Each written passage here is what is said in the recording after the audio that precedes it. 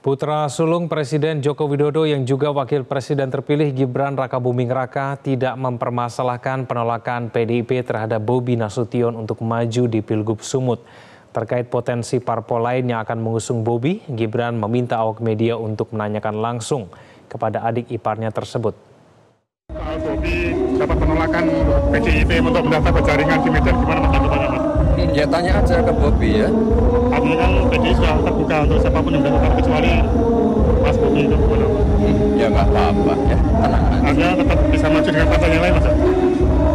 Ya itu ditanyakan ke Bobi aja ya. Jelajahi cara baru mendapatkan informasi. Download Metro TV Extend sekarang.